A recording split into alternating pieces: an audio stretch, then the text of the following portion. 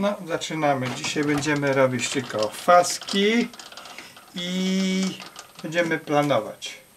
No, żeby się ktoś nie skaleczył, żeby ładnie wyglądało. Nie jest to w ogóle tolerowane. No nóż widzicie, mam taki zrobiony. To nóż jest niby do żeliwa, ale on bardzo ładnie po naostrzeniu ostrzy ten toczy stole. No i dobra, to zaczynamy.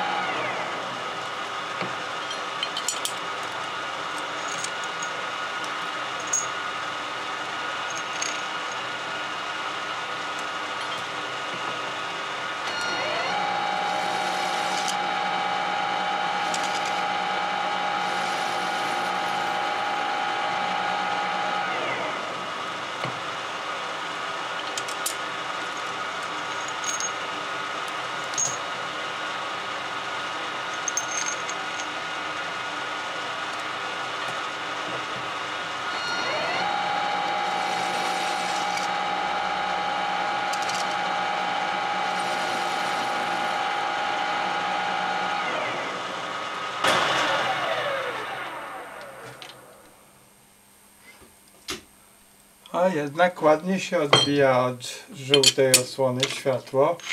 Jak zgasiłem, to tak ciemno. No i ostatnia sztuka. 18 sztuk zrobione. Fajrant na dzisiaj. Dzień 3 września, godzina 17.30.